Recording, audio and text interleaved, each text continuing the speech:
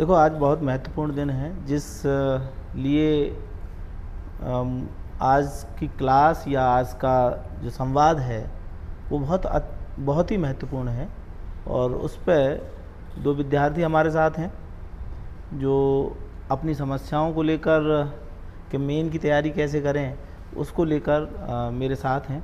इसके अलावा आप सब लोग भी बैठे हैं तो ये, हम हमारे पिछले 20 साल के अनुभव के आधार पर आपको ये बताने की कोशिश करेंगे कि कैसे अच्छी तैयारी की जा सकती है और कैसे इस मेन एग्जामिनेशन को क्लियर किया जा सकता है। गुड इवनिंग सर मेरा नाम अशोक है और मैं जोधपुर का रहने वाला हूँ। सर ईयर 2020 में मैंने मेरा एलएलबी का ग्रेजुएशन किया था नेशनल यूनिवर्सिटी रांची से। उसके बाद से लेकर इस आरजेएस तक मैंने कई बार यूपीएससी के अटैम्प्ट दिए हैं, आरएस के अटैम्प्ट दिए हैं। हर बार सर उन अटैम्प्ट के अंदर में मैं फेल रहा हूँ क्लियर नहीं हो पाया। उसके बाद में जब सोचा मैंने काफ़ी तो जुडिशरी को मैंने एज ए मेरा करियर ऑप्शन बनाने का निर्णय लिया। तो क्या ये एक बेटर ऑप्शन मेरे लिए फ्यूचर में बन सकता है? क्या जो मैंने डिसीज़न लिया है, यूपीएससी और आरएस को छोड़ के और जुडिशरी की तरफ़ आने का, क्या ये सही है? और कितना मेरे को ये हेल्प कर सकता है आगे? अशोक, आपके परिवार वालों ने आपको नेशनल लॉ यूनिवर्सिटी भेजा। आप ब्रिलियंट स्टूडेंट हैं। आपके परिवार ने निश्चित ही आपसे बड़ी बड़ी उम्मीदें पाल रखी हैं। चाहे तो आप जुडिशल अफसर बनो, चाहे आप, आपने जैसा बनाया आर एस और आईएएस का भी प्रिपेयर किया तो चाहे आप आई बनो या आईपीएस बनो या आरएस बनो आरपीएस बनो उम्मीदें बहुत ऊँची हैं। लेकिन आपने जो बात बताई मुझे कि नेशनल लॉ यूनिवर्सिटी से लॉ करने के बाद लॉ कब किया आपने? 2020 में। 2020 में। 2020 में उस समय किया आपने लॉ जब कोरोना का टाइम था। तो कोरोना का टाइम था उसके बाद फिर आपने यूपीएससी की प्रिपरेशन की। तो बहुत सारे स्टूडेंट करते हैं यूपीएससी की प्रिपरेशन कभी मैंने भी की थी। लेकिन आज जुडिशरी से अच्छा कैरियर कोई दूसरा इस समय नहीं है। उसके पीछे बहुत सारे कारण हैं। एक तो आपकी इंडिपेंडेंस कि आप बहुत इंडिपेंडेंटली काम करते हैं आप अपने कोर्ट रूम के राजा हैं आपको कोई डिस्टर्ब करने वाला नहीं है। अकॉर्डिंग टू लॉ जो डिसीज़न आप लेना चाहते हैं वो आप ले सकते हैं। तो एक बेहतर कैरियर है। दूसरी जीवन जीने के लिए आ, अच्छा पद अच्छा पैसा और समय भी चाहिए। तो जुडिशरी में ये सारी चीज़ें अवेलेबल हैं। आपको साढ़े दस बजे से साढ़े चार बजे तक काम करना होता है और आपके कोर्ट के मामले में काम को छोड़ दिया जाए, भाई काम कितना करना है? काम के टारगेट्स तो होते ही हैं जुडिशरी में भी आने लग गए हैं। बाकी आप आंसरेबल नहीं हैं। आपने अकॉर्डिंग टू लॉ जो भी डिसीज़न दिया तो ठीक है, आपका डिसीज़न गलत भी हुआ। तो उसकी अपील हो जाएगी। लेकिन ये एक बेस्ट ऑप्शन है सो आपने सही निर्णय लिया है और मेरा अपना मानना है कि मैं यूपीएससी की तैयारी मैंने खुद ने भी की हुई है। आरएस भी दिया हुआ है। इनमें सबसे बेहतर कैरियर आपने अब चुना है। और रही बात ये कि अभी आर अभी दिया था। जी। तो अभी आपका क्या स्कोर रहा? अभी मेरा score sixty nine, sixty eight के आसपास में है फ़िलहाल। देखो सिक्सटी एट, सिक्सटी नाइन की जहाँ तक बात है, वहाँ आपको अपने को सेफ़ समझना चाहिए। मैं थोड़ा सा तेईस जून पर चला जाता हूँ। तेईस जून के दिन क्या किया मैंने? मैं कुछ सेंटर्स पे खुद गया और जैसे ही पेपर छूटा तो पेपर छूटते ही मैंने कुछ स्टूडेंट से पूछा रैंडम जो मुझे नहीं जानते थे। मैंने ये पूछा, मैंने कहा, बेटा, कैसा रहा पेपर आपका? तो ऐसा मैंने तय कर रखा था कि मुझे दस स्टूडेंट से पूछना है। तो दस स्टूडेंट से मैंने जब पूछा तो आठ ने तो मेरे से यही कहा कि पेपर टफ आया है और पेपर सीधे सीधे क्वेश्चंस नहीं आए हैं एप्लीकेशन बेस्ड क्वेश्चंस हैं, इस तरह की चर्चा उन्होंने की। उसके बाद फिर मेरे जैसे पेपर ख़त्म हुआ एक बजे के आसपास से राजस्थली के स्टूडेंट्स के बहुत सारों के फ़ोन आने लग गए और उन्होंने पूछना शुरू कर दिया कि सर क्या कट ऑफ़ जाएगी? सच ये है, चाहे मैं कहूँ, चाहे कोई और इंस्टीट्यूट वाला कहे कट ऑफ़ की सही बात तो राजस्थान के चीफ जस्टिस को ही नहीं पता।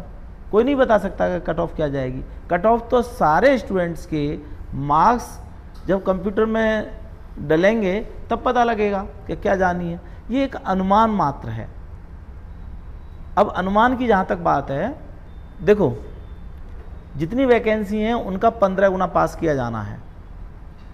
पंद्रह गुना के हिसाब से एक तो साढ़े तीन हज़ार के आसपास पास होंगे, बल्कि ज़्यादा भी हो सकते हैं, क्योंकि जितने भी सर्किल होंगे, जैसे सर्किल का मतलब क्या कहना चाहता हूँ, जैसे एक जनरल कैटेगरी का सर्किल है। जनरल के जितने भी स्टूडेंट बैठे हैं, राजस्थान के और राजस्थान से बाहर के, चाहे वो गर्ल्स हैं, चाहे बॉयज़ हैं, वो सब जनरल में कैटेगरी में आएँगे। वो सारे के सारे स्टूडेंट्स का एक सर्किल होगा। उनका कंपटीशन केवल उन्हीं स्टूडेंट्स के साथ है। फिर जनरल गर्ल्स का तो जो जनरल गर्ल्स राजस्थान की हैं, उन्हें थर्टी परसेंट रिजर्वेशन मिला हुआ है उस कैटेगरी में तो उनका एक सर्किल बनेगा। फिर ओबीसी के बॉयज़ का एक सर्किल बनेगा। उनका ओबीसी ओबीसी के बॉयज़ के साथ ही कंपटीशन है। फिर ओबीसी गर्ल्स का सर्किल बनेगा, फिर उनका उन्हीं के साथ कंपटीशन है। फिर एससी बॉयज़ का बनेगा एससी गर्ल्स का बनेगा एसटी का बनेगा। तो इतने सारे के सारे कैटेगरी हैं और उन कैटेगरी का जो लास्ट नंबर है, वो सारे के सारे पास किए जाएँगे। जैसे एक नंबर कोई सा नंबर है जिस पे मान लो सिक्सटी आया तो सिक्सटी पे बीस स्टूडेंट फॉल कर रहे हैं। तो बीस के बीस पास होंगे। ऐसा नहीं होगा कि बीस में से सिक्सटी वाला एक ले लें तो बीस जने एक ही नंबर पे हैं तो वो सारे पास होंगे। दूसरा अशोक, क्या है कि जितने स्टूडेंट्स हैं, जैसे 90 प्लस स्कोर करने वाले, मेरे हिसाब से जो मैं मानता हूँ 90 प्लस स्कोर करने वाले स्टूडेंट मैक्सिमम मैक्सिमम इस पेपर में 50 हो सकते हैं। मैक्सिमम। 50 से ज़्यादा नहीं। मैक्सिमम बता रहा हूँ ये। फिर 90 80 टू 90 के बीच में जो स्टूडेंट फॉल करेंगे, करीब करीब 300 के आसपास होंगे। कितने? 300 के आसपास। फिर सेवेंटी से 80 के बीच में जाएँगे तो करीब 1000 स्टूडेंट फॉल करेंगे। तो अभी तक देखा जाए तो 1300 और हम 100 भी मान लें 90 प्लस वालों को तो 1400 स्टूडेंट हुए। फिर सिक्सटी सेवेंटी से सिक्सटी के बीच में जो जाने वाले स्टूडेंट हैं, वो कितने होंगे? वो रिमेनिंग फिर इनमें ही आते चले जाएँगे। तो कट ऑफ़ जितना स्टूडेंट सोच रहे हैं, उतनी जाने की संभावना नहीं है। तो सर, कितना सेफ़ स्कोर हम लेके चले कि हम मेंस की तैयारी कर सकें? और किन को मेंस की तैयारी करनी चाहिए ये पेपर देने के बाद में? बड़ा को ध्यान देखते हुए। बड़ा महत्वपूर्ण प्रश्न अशोक पूछ रहे हैं कि हम सेफ़ कहाँ हैं? देखो कट ऑफ़ ना मैं बता सकता ना कोई और बता सकता। कट ऑफ़ नहीं बताई जा सकती फिक्स कट ऑफ़ नहीं बताई जा सकती अनुमान लगाया जा सकता है। तो मेरे अनुसार करीब करीब 60 और के के आसपास के सारे स्टूडेंट्स को मेंस की तैयारी करनी चाहिए। अब बात आती है कि मेंस की तैयारी किसे करनी चाहिए। मेरे इस बार एक दिमाग में एक बात आई है किस देखो आ, हो सकता है आप में से कुछ लोगों को ना पता हो। आरजेएस में प्री होता है प्री सिर्फ़ एक छटनी का काम करता है। आ, जितने सारे स्टूडेंट बैठे उनमें से आ, कुछ स्टूडेंट्स जो मेज दे सकें उन स्टूडेंट्स को छांटा जाता है। फिर जो मेंस के लिए प्रिपेयर हुए हैं, वो उसके आधार पर मेरिट बननी है। मेरिट किसकी बननी है? थ्री टाइम्स पास करने हैं। जैसे अभी दो सौ बाईस सीटें हैं। दो सौ बाईस का तीन गुना। मतलब छः सौ छियासठ लोग हो गए। तो करीब करीब छः सौ सत्तर पचहत्तर के मान लो, क्योंकि लास्ट नंबर उसमें भी पास होते हैं। तो पौने सात सौ के आसपास इंटरव्यू का कॉल होना है। अब इंटरव्यू के लिए जिन लोगों का कॉल होना है, वो लोग आधार क्या है सिलेक्शन का? सिर्फ़ और सिर्फ़ मेन एग्जामिनेशन अभी क्या हो रहा है कि प्री को आधार मान रहे हैं लोग।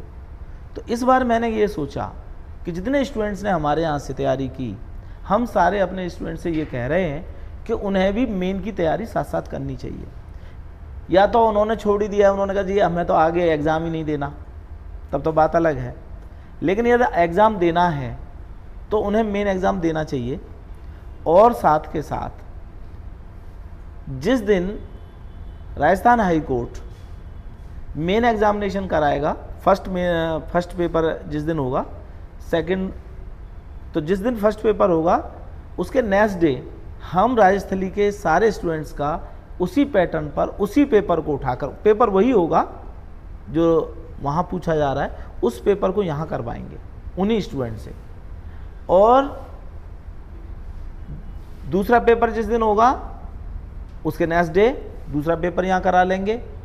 तो उन्हें ये पता लगेगा कि वो कितना कर पाएँ। वहाँ राजस्थान हाई कोर्ट में वहाँ के जो जजेस वगैरह हैं, वो लोग कॉपी चेक करेंगे और यहाँ हम चेक करेंगे। तो आपको ये पता लग पाएगा कि आपने कहाँ कहाँ स्टैंड किए। और चूँकि मेन की ही तैयारी करनी चाहिए, जिस स्टूडेंट की मेंस की तैयारी बहुत अच्छी है, उसे ये देखना नहीं पड़ेगा कि प्रीलिम्स में होगा या नहीं होगा। क्यों? क्योंकि प्री में उसका स्कोर अपने आप 80 के आसपास 75 80 के आसपास रहेगा। तो मेंस पर फोकस करना चाहिए पहले से। तो जो स्टूडेंट आप कह रहे हो कि मेंस की तैयारी कैसे किन किन को करनी चाहिए, उनमें मेरा ये मानना है कि जिन्होंने भी पाँच सात महीने पढ़ाई करके, फिल्म्स की तैयारी करके फिल्म्स दिया था, उन सबको मेंस पढ़ना चाहिए। क्योंकि आगे भी तो काम आएगा तो उन्हें मेन एग्ज़ाम देना चाहिए। सर, मेरा नाम मेहुल कपूर है। सर, मैंने दो हज़ार उन्नीस में मेरी लॉ पूरी करी थी अजमेर से। सर लगातार मैं डेढ़ साल से जुडिशरी की प्रिपरेशन कर रहा हूँ। सर, मेरा प्रश्न ये है कि, सर मेंस के अंदर आंसर राइटिंग को, सर, बेहतर कैसे बनाएँ? कैसे एक अच्छा स्कोर हम स्कोर कर सकते हैं? अपने आंसर को कैसे इंट्रोडक्शन के साथ स्टार्ट करें? कैसे अपने आंसर को लास्ट में कंक्लूड किया जाए? बिल्कुल ठीक है, मेहुल, बहुत अच्छी बात आपने कही। और प्रश्न भी बड़ा सार्थक है। जितने भी स्टूडेंट हैं, वो सारे ये जानना चाहते हैं कि बेहतर से बेहतर आंसर लिखें, जिससे ज़्यादा अंक आएँ। जितने ज़्यादा मार्क्स लाओगे, उतना ही मेरिट में आओगे। तो उसके लिए क्या किया जाए, ये प्रश्न बड़ा अच्छा है। देखो, एक उदाहरण से हम इस बात को लेंगे। पहले हम एक पेपर को देखें, पेपर में आता क्या है? जैसे हम सिविल के पेपर की बात करें तो सिविल के पेपर में क्या आएगा? तो 80 मार्क्स का तो आपका लॉ आएगा। 80 मार्क्स का तो आपका लॉ का पेपर आएगा। 20 मार्क्स में वो भी लॉ का ही पेपर है, लेकिन जजमेंट राइटिंग और इश्यूज़ का सेटलमेंट सिविल के पेपर में आ जाएगा। इसके अलावा क्रिमिनल के पेपर में जजमेंट राइटिंग और चार्ज फ्रेमिंग आ जाएगा। तो ये जो 20 नंबर हैं, जिसे स्टूडेंट सामान्यतः तौर पर हुआ समझते हैं, घबराहट होती है उस वो सबसे सरल पार्ट है। जैसे मैं थोड़ा सा चार्ज की बात करूँ कि चार्ज कैसे लगाना है है ना? तो चार्ज आना है ट्वेंटी मार्क्स का। क्रिमिनल लॉ के पेपर की बात कर लें पहले। तो क्रिमिनल लॉ में ट्वेंटी मार्क्स का चार्ज आना है मतलब ट्वेंटी मार्क्स का चार्ज प्लस जजमेंट राइटिंग। दस दस नंबर के दोनों आने। कितना बड़ा स्कोर है एक तरह से मतलब किसी एक एक्ट को पढ़ने से मैं इतना इसको नहीं होगा जितना इसमें होगा। तो ये, और ये सबसे सरल पार्ट यही है इस पूरे पेपर का। सबसे सरल कैसे? जैसे एक एग्ज़ाम्पल लेते हैं। एक आदमी एक आदमी मानसरोवर का रहने वाला है। और वो मानसरोवर का रहने वाला व्यक्ति ने राजस्थान पत्रिका में अखबार में एक ऐड देखा और उसमें कहा कि यहाँ से बसें राम मंदिर को देखने जा रही हैं, नया मंदिर बना है। तो वो परिवार सहित, सारे परिवार सहित राम मंदिर देखने के लिए अयोध्या चला जाता है। अयोध्या से राम मंदिर देख के बड़े खुशी खुशी आता है, वापस आता है तो देखता है कि घर का ताला टूटा हुआ है। सारा सामान, ज्वेलरी वेलरी सब चोरी हो चुकी है। उसके टीवी और ये सब फूटे पड़े हैं। अब वो मानसरोवर थाने जाता है। मानसरोवर थाने जाता है तो इस बात को जो भी घटनाक्रम था उसको लिखता है। एफआईआर दर्ज कराता है कि सर, मैं और मेरा परिवार अयोध्या में राम मंदिर के दर्शन करने के लिए चला गया था और वापस जब आया तो मेरे घर के ताले टूटे पड़े थे। मेरे यहाँ से सारा सामान, दस लाख की ज्वेलरी चली गई है। और अड़ोसी पड़ोसी को पूछा तो उन्होंने ये कहा कि दिन में तो हमने किसी को देखा नहीं, यहाँ घुसते आते जाते लेकिन ये शायद रात में ही हुआ है। ठीक है? ये घटना उसने लिखा थी अब यही घटना आपके एग्ज़ाम में पूछ ली जाती है कि इस पर चार्ज फ्रेमिंग करो। तो चार्ज फ्रेमिंग कैसे करोगे? Charge framing? तो चार्ज में चार्ज में एक फॉर्मेट दिया हुआ है। सीआरपीसी में एक फॉर्मेट दिया हुआ है। इंग्लिश में भी लिखा हुआ है, हिंदी में भी लिखा हुआ है। एज इट इज़ फॉर्मेट को आपको पक्का याद करना है। जैसे, जब थोड़ा सा पीछे चले, चार्ज लगता भी कैसे है? पुलिस वाले इन्वेस्टिगेशन करेंगे। इन्वेस्टिगेशन करने के बाद जो भी उनका संबंधित मजिस्ट्रेट है, वहाँ रिपोर्ट पेश कर देंगे। रिपोर्ट पेश करने पर तभी उन्होंने किसी आदमी को जिस कैमरे वैमरे देख के, आसपास के कैमरे देखे और ये पता करा कि किस आदमी ने ये चोरी की है तो पता लगा कि उसमें दो लोग पकड़े गए हैं या एक आदमी पकड़ा गया है कि इस आदमी ने चोरी की है। कैमरों में आ गया। कैमरों में आ गया तो उसकी रिपोर्ट सहित उस आदमी को कोर्ट में पेश कर दिया उन्होंने। कोर्ट में पेश कर दिया, जैसे ही उसके सामने, मजिस्ट्रेट के सामने ले जाएँगे तो मजिस्ट्रेट से कहेंगे, सब देखो, ये ये हमारे पास एविडेंस हैं, इन एविडेंसेस के हम आधार पर ये साबित करना चाहते हैं, और ये फुटेज हैं कैमरे की फुटेज कि यही आदमी है, इसने चोरी की, रात में ये जा रहा, आ रहा है। और, घर में घुसते भी देखा, और निकलते भी देखा, सामान लेते हुए निकलते, ये सब चीज़ें उसने एविडेंसेस के दिखा दिया। तब मजिस्ट्रेट क्या करेगा कि एक चार्ज की डेट होगी तो वो उस दिन चार्ज फ्रेम करेगा। चार्ज मतलब आरोप। तो उन चार्ज पर वो कहेगा कि मैं अपना नाम लिखेगा मजिस्ट्रेट ये। आप मतलब जिसके ऊपर ये चार्ज लग रहा है आप जो भी उसका नाम है एक्स वाई जेड के ऊपर यह आरोप लगाता हूँ कि इतने तारीख को इत, इतने तारीख को इस रात आपने फला व्यक्ति के घर में घुसकर चोरी की जो इस न्यायालय के संज्ञान में या कॉग्निजेंस में है। और मैं निर्देश देता हूँ कि आप पर चार्ज लगाया जाए। तो अब भारतीय दंड संहिता में परिभाषित अपराध आ गया। ऐसे करके आपके अब समस्या क्या है? चार्ज का फॉर्मेट तो आपको सीआरपीसी में दिया हुआ ये दो तीन लाइनें हैं। अब क्या है कि जितने एक्शन उतने सेक्शन लगते हैं। जितने एक्शन उतने सेक्शन लगते हैं। एक्शन क्या क्या हुए? एक आदमी घर में घुसा। अब घर में रात में घुसा या दिन में घुसा? तो सेक्शन बदल जाएगा। रात का सेक्शन अलग होगा, दिन का सेक्शन अलग होगा। तो रात में घुसा तो सेक्शन अलग लगेगा। आस पड़ोस में देखा उसने कैमरे लगे हुए, कैमरों से बचते बचाते गया। तो वो लर्किंग हाउस ट्रेस पास हो गया बाई नाइट तो उसके लिए सेक्शन अलग हो गया। फिर अंदर घुसा, लेकर निकला। तो पता लगा कि ताला तो नहीं, बाहर का गेट का ताला तो नहीं तोड़ा उसने, कूद कर गया, डोली कूद कर गया। और उधर से भी डोली कूद कर गया। तो ये हाउस ब्रेकिंग हो गया। ये क्या हो गया? हाउस ब्रेकिंग हो गया। गृह वेदन तो हाउस ब्रेकिंग का सेक्शन लगाना पड़ेगा। अब यहाँ तक ये बात हो गई। अब ये देखना पड़ेगा कि एक तो चोरी हुई। तो चोरी में भी आपको ये देख, देखना है कि जैसे सामान्य तौर पर स्टूडेंट क्या सोचता है 379 लगा दो। 378 में चोरी परिभाषित है 379 में चोरी की पनिशमेंट अरे भाई, चोरी की पनिशमेंट 379 लगाओ तो गलत हो जाएगा। 380 में जाना पड़ेगा। क्यों जाना पड़ेगा? क्योंकि किसी बिल्डिंग में, किसी टेंट में या किसी में भी चोरी करेगा तो उसका पनिशमेंट ही अलग है। वो 380 में दिया हुआ है। तो उसे 380 का चार्ज लगाना होगा।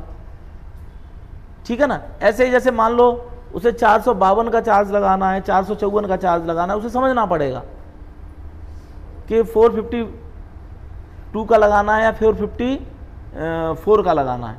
अब इनमें क्या थोड़ी थोड़ी थोड़ी थोड़ी अंतर है। थोड़े थोड़े अंतर हैं। इन अंतरों को समझ लिया है तो चार्ज टफ नहीं है।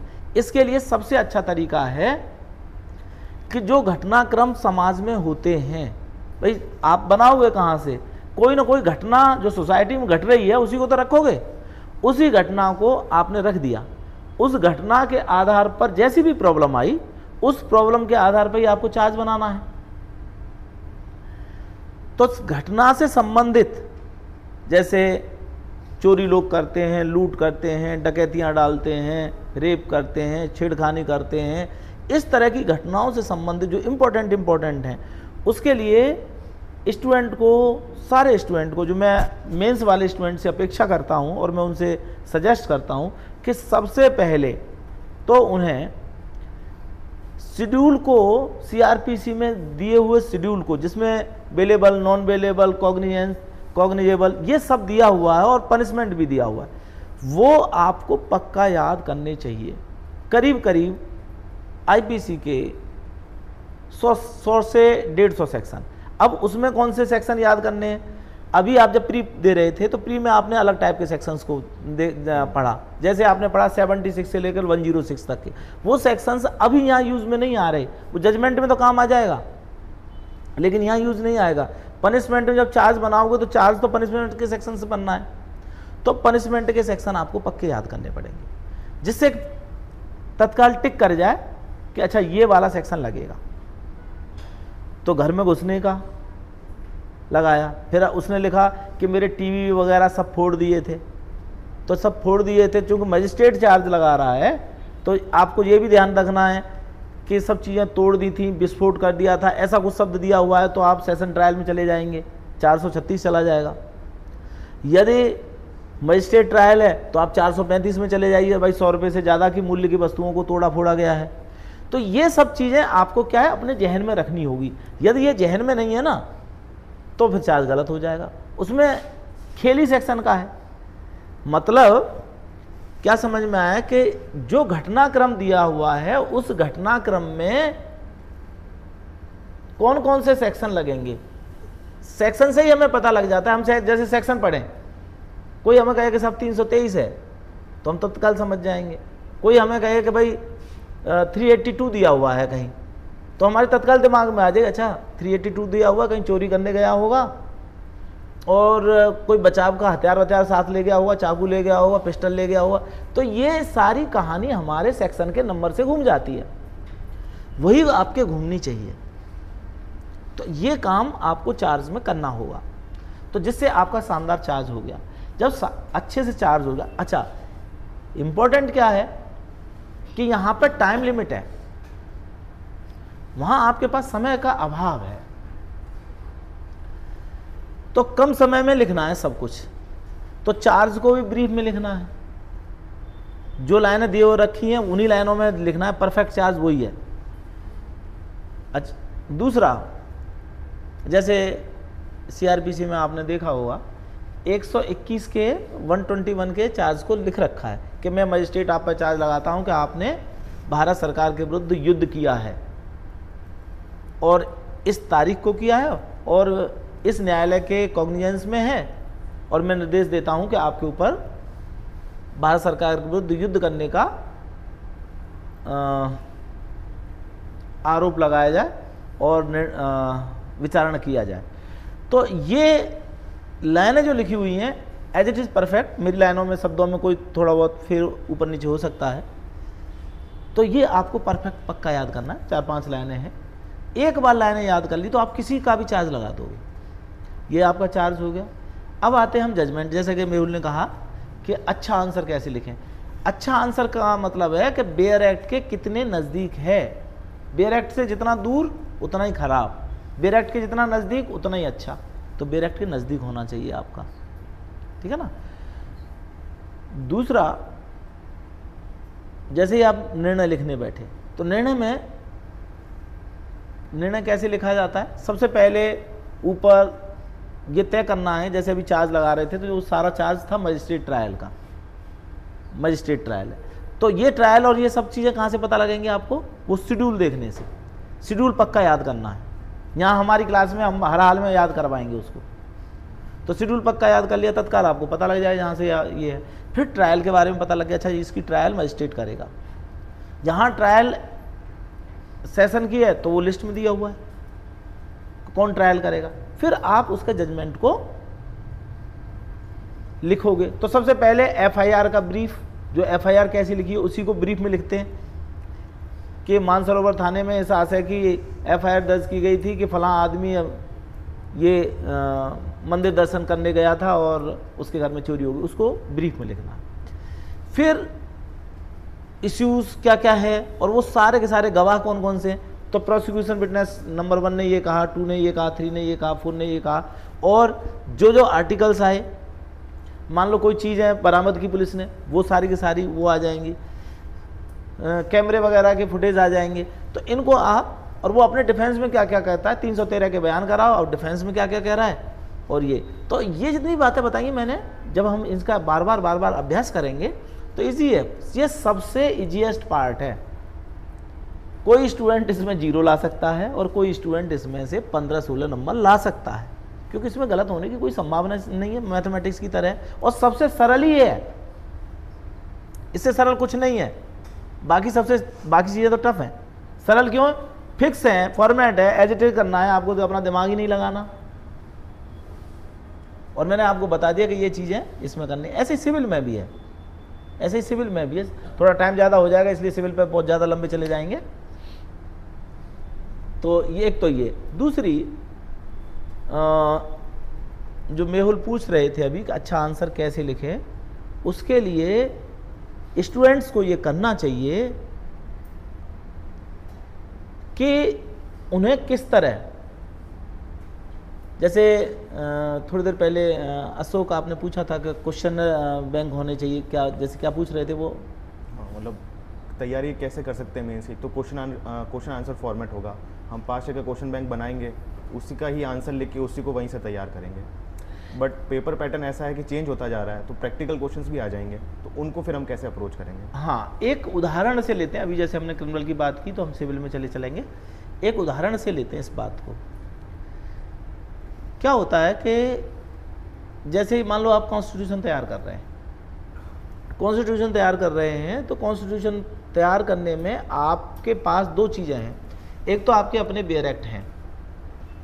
तो बेयर एक्ट में कोई केस लॉ नहीं दे रखे, जो फाइंडिंग्स हैं सुप्रीम कोर्ट की और हाई कोर्ट्स की, वो नहीं दे रखी हैं।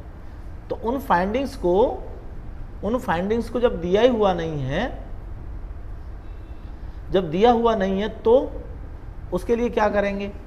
उसके लिए ये है कि आप अपने नोट्स बनाओ। अब आप कहोगे कि सर नोट्स के लिए तो बहुत कम टाइम है। बिल्कुल सही बात है। नोट्स के लिए बहुत कम समय है। तो फिर उसके लिए क्या करें? एक तरीका है उसका। जैसे सबसे पहले आप आ, मैं प्रियम्बल से ले लेता हूँ। प्रियम्बल का एग्ज़ाम्पल ले लेता हूँ। तो मान लो इंडियन कॉन्स्टिट्यूशन की प्रियम्बल आप तैयार कर रहे हैं। तो प्रियम्बल को तैयार करने से पहले प्रियम्बल पर आए हुए सारे क्वेश्चंस को एक जगह लिख लो। एक जगह लिख लो। फिर उनके आंसर्स को आप जब देखोगे तो क्वेश्चन लिखते ही तब आपको पता लगेगा कि अच्छा ये क्वेश्चन तो है, लेकिन इसके शब्द घूम गए हैं। क्वेश्चन तो वही है। हर बार शब्द घूम रहे हैं। क्वेश्चन वही पूछ रहा है। तो जब देखोगे तो चार पाँच तरीके के क्वेश्चन बनते हैं, इसके अलावा क्वेश्चंस नहीं बनते।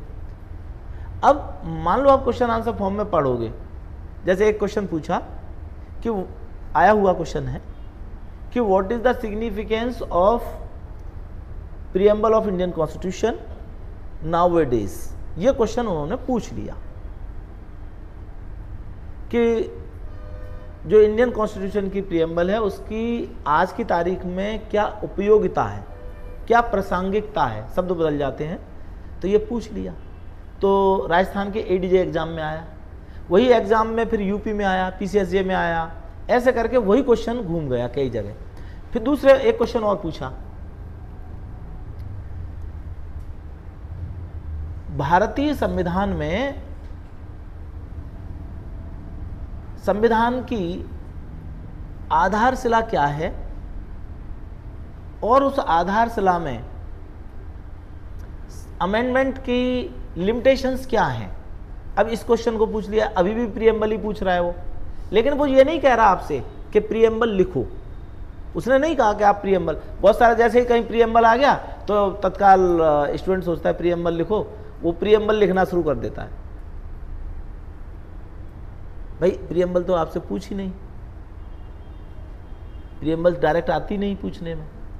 तो यहाँ क्वेश्चन बदल गया। यहाँ वो ये पूछ रहा है कि प्रियम्बल में कौन कौन से अमेंडमेंट हुए?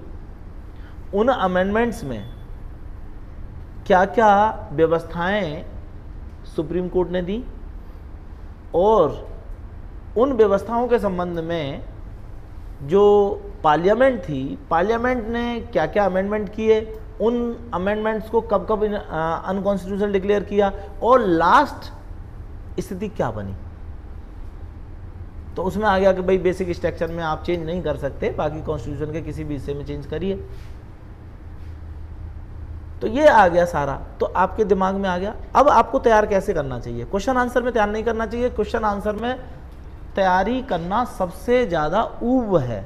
कारण है, पहले क्वेश्चन का आंसर लिखा दूसरे में कुछ कुछ उससे मिलता जुलता फिर लिखा, तीसरे में कुछ कुछ मिलता जुलता फिर लिखा, आपको लगेगा, अरे यार, ये तो तो आपका कोई भी इंपॉर्टेंट कोई भी पार्ट पक्का याद नहीं होगा। तो क्या करें उसके लिए? उसका एक ही तरीका है। जो टॉपिक टॉपिक वाइज तैयारी करो। टॉपिक बना लिया प्रियम्बल भी लिख लिया आपने प्रियम्बल के नीचे जो भी इंपॉर्टेंट थे वो लिख लिए, उनमें जो जो आने वो लिख लिया। जो जो आना है वो लिख लिया। अब वो सारा आपने लिख लिया। उसे पक्का याद किया। अब प्रियम्बल पर कुछ भी पूछो, टेढ़ा मेढ़ा कैसा भी पूछो क्वेश्चन कैसा है? अब चाहे हो सकता है बहुत शॉर्ट टाइप का क्वेश्चन है पंद्रह शब्दों में वाला है हो सकता है तीन नंबर का क्वेश्चन आए, हो सकता है बड़ा क्वेश्चन आए। तो सभी के आंसर देने में सक्षम बन जाओगे और पक्का भी याद कर लोगे। अदरवाइज़ तो पक्का याद होगा ही नहीं कभी। क्योंकि एक चीज़ को आपने दस बार रिवाइज किया या दस चीज़ों को एक एक बार तो दस वो चीज़ें कमज़ोर रहीं तो ऐसे करके कर सकते हो। सर एक दस नंबर के क्वेश्चन में हमको कितने केस लॉस को मेंशन करना चाहिए और एक लेटेस्ट जजमेंट का हमारे आंसर राइटिंग के अंदर कितना फ़र्क पड़ता है? मेहुल जो आपने प्रश्न पूछा है कि मान लो बड़ा क्वेश्चन पूछा है तो उसमें दो बातें हैं। पहले आपको अपने आंसर में आंसर के फॉर्मेट को तय करना चाहिए कि जैसे क्वेश्चन, जो कुछ भी क्वेश्चन आया, उस क्वेश्चन में आप अंडरलाइन करो पहले तो कि कौन सी चीज़ पूछी जा रही है। जो पूछी जा रही है तो आप देखोगे कि वो तीन तीन नंबर वाले तीन क्वेश्चन का टुकड़ा है। तीन तीन क्वेश्चन के एक तरह से तीन क्वेश्चन मिक्स है। तो पहले उस क्वेश्चन का आंसर दो, फिर दूसरे वाले का आंसर दो, फिर तीसरे वाले का आंसर दो। अब आती है आपकी केस लॉ की बात। केस लॉ सिर्फ़ इसलिए नहीं डालना है कि एक बड़ा क्वेश्चन है तो हमें केस लॉ डालना है। भाई, आप पे कोई अवेलेबल ही नहीं है तो मत डालो। यदि अवेलेबल है तो ज़रूर डालो। केस लॉ कौन से इंपॉर्टेंट होते हैं? केवल वो इंपॉर्टेंट होते हैं जो कोई प्रिंसिपल इस्टेब्लिश करते हैं। हर केस लॉ इंपॉर्टेंट नहीं होता। जैसे, मान लो आप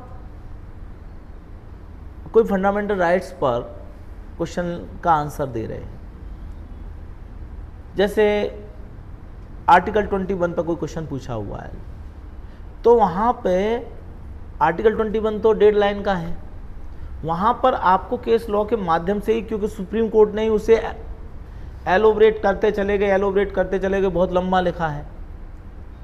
तब आपको वो सारे केसेस बताने पड़ेंगे कि इस केस में सुप्रीम कोर्ट ने जीवन के अधिकार को ये माना, इस केस में ये माना, उन केसेस के माध्यम से आपको आंसर देना होगा। क्योंकि बिना केस के आंसर तो आंसर ही नहीं दे सकते आप तो it will depend on question कि which type of question is asked कैसा क्वेश्चन पूछा जाता है, ये उस पर डिपेंड करेगा। अब आती है कंक्लूड करने की। तो जैसे ही आप प्रश्न का उत्तर लिखना शुरू करते हैं तो प्रश्न पूछा क्या गया है? कंक्लूड उसी बात से करेंगे जो पूछा गया था। जो बात आपको पहले पूछी गई थी उसका आंसर उस रूप में प्रॉपर आना चाहिए। यदि वो नहीं आ रहा है तो मतलब ही नहीं है उसका। तो ये ज़रूरी है। सर कितना टाइम हम ट्वेंटी थर्ड जून से मान सकते हैं कि मेंस उस दौरान में हो जाएगा? देखिए समय सभी को बराबर मिला हुआ है। किसी को कम और किसी को ज़्यादा नहीं मिला हुआ। अभी से शुरू करेंगे। तो तीन चार बातें समझने योग्य हैं। पहली बात तो आप लोगों के पास एक शानदार मेंटोर ज़रूरी है, क्योंकि it is just race for merit उस मेरिट में आने के लिए आपके पास मेंटोर होना चाहिए। उस मेंटोर बार बार आपको उससे डिस्कस करना होगा, सर, मेरे सामने ये दिक्कत आ रही है। मेरे को नोट्स बनाने में दिक्कत आ रही है, या मेरे को जैसे कभी मैं बेर एक्ट पढ़ लिया, कभी कुछ पढ़ लिया, कभी कुछ और ले लिया तो कभी कहीं फिक्स नहीं बैठ रहा है, कभी बहुत सारी किताबें इकट्ठी कर ली, कभी कोई गाइड खरीद लाया तो वो नहीं होना चाहिए। दूसरी स्टूडेंट क्या करते हैं? जैसे फिल्म्स पास होंगे तो वो उनके कोई परिचित मजिस्ट्रेट बन गया, कोई लड़का पुराने बैच में बन गया, उसके पास भागे भागे जाएँगे। अच्छा तू बता। अरे भाई, उसकी स्थिति अलग थी और आपकी स्थिति अलग है। और वो कभी बता भी नहीं सकता। वो एक बार हो गया है पास। दोबारा एग्ज़ाम दे तो ज़रूरी नहीं है कि दोबारा पास हो पाएगा। तो वो बता भी नहीं सकता। क्योंकि उसे फेल होने के बहुत सारे अनुभव नहीं हैं। हमें हमारे जीवन में बहुत अनुभव है, फेल होने के। हमारे अपने। और इतने सालों से इतने सालों से स्टूडेंट्स के। आरजेएस में कितने सारे आरजेएस कंटिन्यू कराए। तो हर एक तरह से हम ये जानते हैं कि कैसे कैसे किस स्टूडेंट को कैसा होना चाहिए और कैसे उसके तो हर स्टूडेंट की स्थिति अलग है। तो उसके पास एक मेंटोर बहुत अच्छा है। वो आ, किसी मजिस्ट्रेट के पास नहीं जाना किसी जज के पास नहीं जाना किसी और से नहीं पूछना किसी इंटरव्यू देने वाले से नहीं पूछना आप अपने टीचर से पूछो। क्योंकि वो एक्सपर्ट है। दूसरा, सबसे पहले इंपॉर्टेंट एरिया को तय करना। सिलेबस ले लिया, जो भी एक्ट ले रहे हैं, कोई सा एक्ट ले लिया इन इनमें ये संभावित क्वेश्चन है। तीन तरह के क्वेश्चंस पूछे जाते हैं very short question very short question वो होते हैं, जो आपने अभी एग्ज़ाम दिया। जैसे पंद्रह क्वेश्चन पूछ लिए, तीस नंबर के। तो दो दो नंबर के तीन क्वेश्चन जो छोटे छोटे तीन तीन नंबर के जो क्वेश्चन आते हैं वो क्वेश्चन बहुत छोटे होते हैं, उनमें बहुत शॉर्ट में लिखना है आपको। तो वो तो प्री वाले ही हैं, जो प्री में आपने तैयारी की। लेकिन उन क्वेश्चंस को भी हर एरिया से वो क्वेश्चन नहीं आते हैं। तो उनमें उनको तय करना कि इंपॉर्टेंट एरिया ये है। आपको अपना एक सिलेबस बनाना है। सिलेबस कैसे बनाओगे? जैसे अभी कॉन्स्टिट्यूशन की बात चल रही तो कॉन्स्टिट्यूशन में ही बात करें। तो कॉन्स्टिट्यूशन के टॉपिक्स बनाओ। जैसे एक टॉपिक चला गया हम प्रियम्बल में चले गए। दूसरे में चले गए, फिर हम सिटीजनशिप में चले गए। तीसरे में चले गए तो फंडामेंटल राइट्स में। फंडामेंटल राइट्स में सब टॉपिक्स बनाइए। अलग अलग अलग अलग तो उसमें पाँच, सात टॉपिक बनेंगे। फिर आप चले गए directive principle of state policies पर। ऐसे करके इम्पोर्टेंट पार्ट तो बहुत ब्रीफिंग करनी है सबसे पहले, कि ये ये चीज़ें पूछी जाएँगी। तो जो सिलेबस आपका है कोई बात नहीं। जो सिलेबस आपका है, उस सिलेबस को एलोबरेट करना है। अलग अलग अलग अलग हिस्सों में। 10 से 15 पेज का सिलेबस तैयार होगा। 20 पेज का सिलेबस तैयार होगा। 20 पेज का सिलेबस किसका हो गया? क्रिमिनल लॉ का। 20 पेज का सिविल लॉ का। उसमें लगभग सारी चीज़ें आएँगी। बार बार आपको वही पलटना है। वही पलटना है। और ये काम कराएगा आपका टीचर आपका मेंटोर आपका गुरु यही काम तो करेगा। अभी जैसे,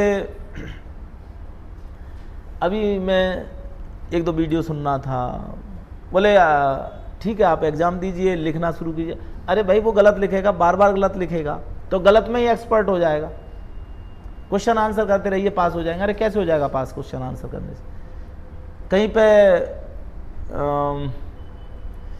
टेस्ट सीरीज़ ज्वाइन कर लीजिए, बस टेस्ट दीजिए और टेस्ट से पास हो जाए। अरे भाई प्री तो क्वालिफाइंग था, जहाँ से सिलेक्शन होते हैं, उसमें सबसे कम तैयारी करनी चाहिए।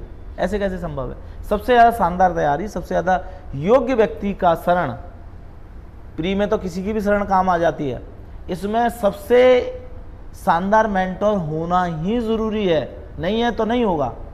मेंटोर आपको एक झटके में 20 से 30 परसेंट ऊपर ले जाएगा। इस पे एक उदाहरण मैं दे रहा हूँ। मेरे एक स्टूडेंट हैं। राघवेंद्र काछवाल। 2010 की बात बता रहा हूँ मैं आप लोगों को। 2010 फरवरी के महीने में उन्होंने मेरे यहाँ ज्वाइन किया और अभी वो इस समय डिस्ट्रिक्ट जज पोस्टेड हैं। डायरेक्ट डिस्ट्रिक्ट जज में हुआ थर्ड रैंक आई थी उनकी। और अभी राजसमंद में डिस्ट्रिक्ट जज हैं वो प्रिंसिपल डिस्ट्रिक्ट जज लगे हुए वो थे, और भी लोग हैं। मैंने उनका उदाहरण इसलिए ले रहा हूँ कि एक अच्छा उदाहरण है वो। तो मैं ऐसे ही क्लास पढ़ाता था और वो क्रिमिनल के टॉप लॉयर थे, बढ़िया उनकी प्रैक्टिस चलती थी, पंद्रह सोलह जूनियर भी उनके साथ थे। तो मैं एविडेंस एक्ट पढ़ा रहा था उन्होंने ज्वाइन किया। बोले, सर, ये सब चीज़ें तो हम यूज़ नहीं करते, लेकिन हमारी तो बढ़िया प्रैक्टिस चल रही है। प्रैक्टिस में ज़रूरी नहीं है कि आप इन सब चीज़ों को यूज़ करते हो, लेकिन एग्ज़ाम में ज़रूरत है इसकी। फिर एक दिन मेरे से बोले कि, सर, मेरे को आपसे दो मिनट अलग से बात करनी थी। मैंने कहा, बताओ। मेरे केबिन में गए, बताओ कि, सर, मुझे किसी भी कंडीशन में बनना है, आप मुझे ये बता दीजिए कैसे बनते हैं। तो मैंने कहा, मैं पढ़ा रहा हूँ ना, आप पढ़ो, धीमे धीमे आपको आ जाएगा। नहीं सर, मैं स्पेशली आपसे आज पूछना चाहता हूँ, कैसे बन मैंने उन्हें वैसे ही कहा 2010 की बता रहा हूँ आपको। मैंने उन्हें वैसे ही कहा, मैंने कहा, पाँच लाख रुपए हैं आप पे तो वो चौंके। तो मेरे से बोले हाँ पाँच लाख की सब व्यवस्था हो जाए, बताओ किसको देने? मैंने कहा, मुझे ही देने। मुझे ही देने। अब पाँच लाख रुपए ले आना, फिर हम बात करते अब क्या हुआ कि दूसरे दिन क्लास में मैंने उनके और दोस्तों से पूछा, क्योंकि एडीजे का राजस्थान में अकेला मेरा ही बैच था और उस समय 2010 में कोई बैच चला ही नहीं रहा था और उस साठ सत्तर एडवोकेट थे। तो मैंने औरों से पूछा, मैंने कहा, वो रघु जी नहीं आए? हम शॉर्ट में उन्हें रघु जी बोलते हैं। तो वो कहने लगे कि, पता नहीं दो दिन से आ नहीं रहा। वो तीसरे दिन आए। तीसरे दिन आए तो जैसे ही मैंने क्लास छोड़ी, शाम का ही बैच था तो जैसे मैंने क्लास छोड़ी तो मेरे से बोले, सर, मुझे पाँच मिनट मिलना था। तो मैंने कहा जाओ, केबिन में। तो अखबार में लिपटे हुए, क्योंकि उस समय जो नोट थे, वो सौ सौ वाले थे तो ज़्यादा थे वो, गड्डियाँ ज़्यादा थी। तो उन्होंने बोले, सर, मैं पाँच लाख रुपए ले आया। ये मैं आपको वो एक्चुअल स्थिति बता रहा हूँ। कि सर मैं पाँच लाख, आप देखो झील कितना था। मतलब किसी हिम्मत है कि आदमी से किसी से कहे दो दिन छुट्टी रहे और तत्काल वो पाँच लाख की व्यवस्था करे। तो बोले सर मैं ले आया। बाद में मैंने पता किया कहाँ से लाए, वो अपने ससुराल से लाए। तो पाँच लाख रुपए ला के फिर मैंने उन्हें गिना। मतलब गड्डियों को गिना। एक एक नहीं गिना तो गड्डियों को गिना मैंने। मैंने कहा, पाँच लाख। मैंने उठा के अपनी रैक में रखी। फिर मैंने उन्हें पूछा। मैंने कहा अच्छा ये बताओ कि आपके घर में कौन कौन लोग हैं? तो उन्होंने अपने घर के बारे में बताया, परिवार के बारे में बताया कि, सर, मेरी तीन दो बेटियाँ हैं, वो तीन बेटियाँ हैं और ऐसे ऐसे मेरा परिवार है, मैं क्रिमिनल की प्रैक्टिस करता हूँ, ये सब बातें बताई। तो मैंने कहा आपका केसेस कितने हैं? बोले, सर, मेरे बहुत अच्छी प्रैक्टिस है, मैं इतने ऐसी ऐसी प्रैक्टिस करता हूँ। मैंने कहा, रघु जी, पहली बात तो ये है कि अब मैं आपको समय खरीदने के लिए कुछ पैसे देता हूँ। बोले, समय खरीदने के लिए सर, समय कहाँ से आएगा? मैंने कहा, देखो, ये डेढ़ लाख रुपया तो दो लाख रुपया तो आपके ऑफ़िस के जो जूनियर हैं, उनकी सैलरी के हैं ये।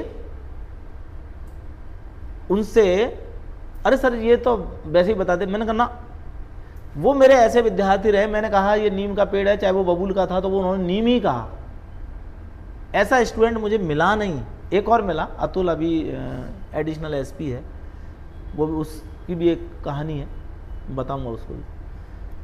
तो दो तीन लोग ऐसे मिले पूरे उसमें, जिन्होंने जैसे कहा ना, वैसे ही किया।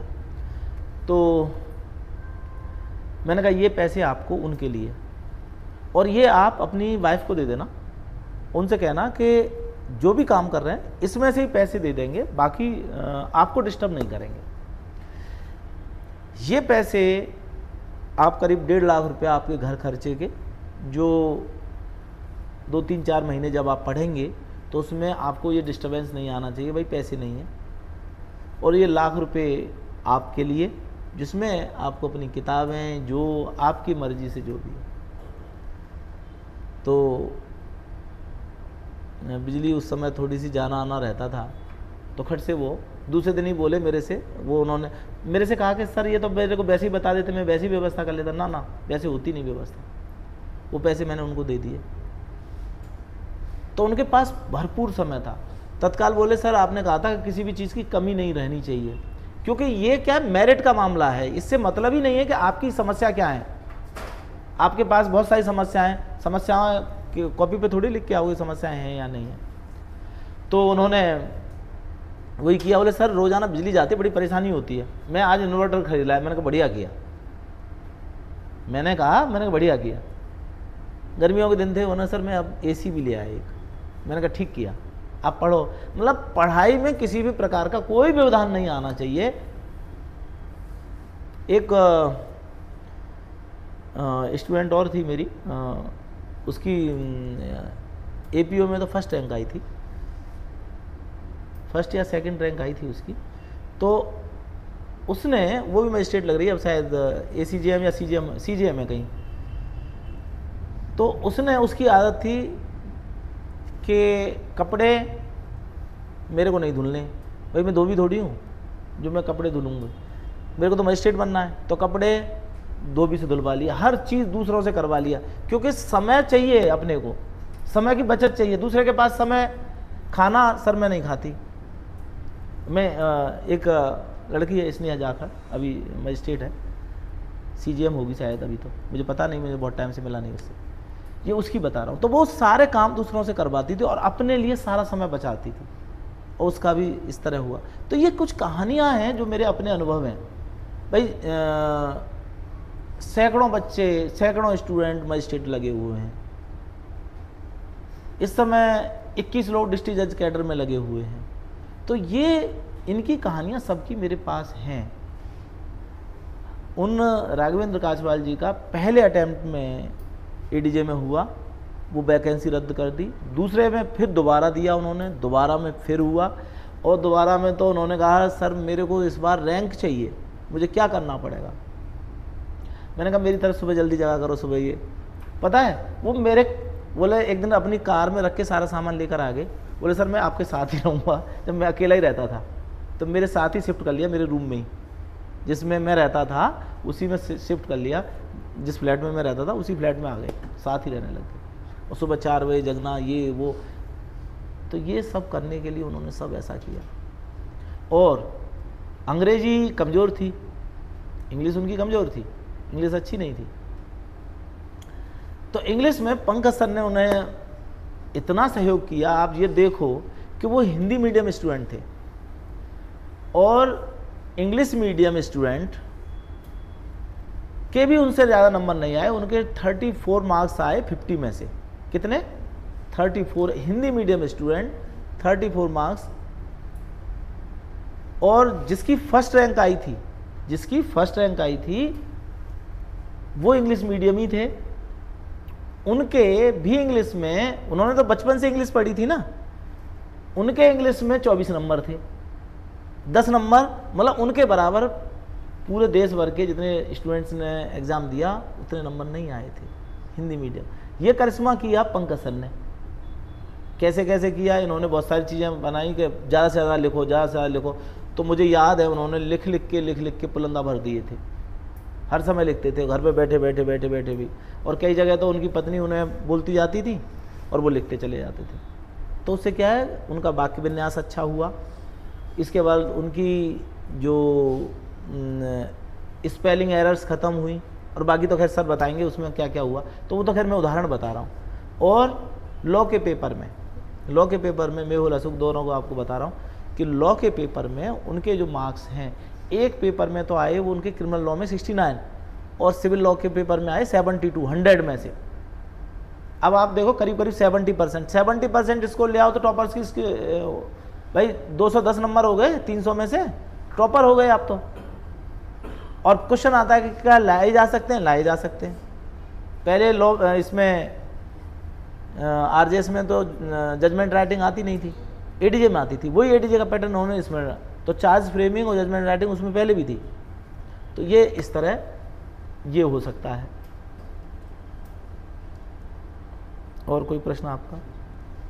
सर राज्य स्तरीय का रोड मैप क्या रहेगा? मेंस की प्रिपरेशन के अंदर हाँ ये अच्छा अच्छा अच्छा प्रश्न है। अशोक रायस्थली का रोड मैप तो बिल्कुल डिफरेंट रहने वाला है।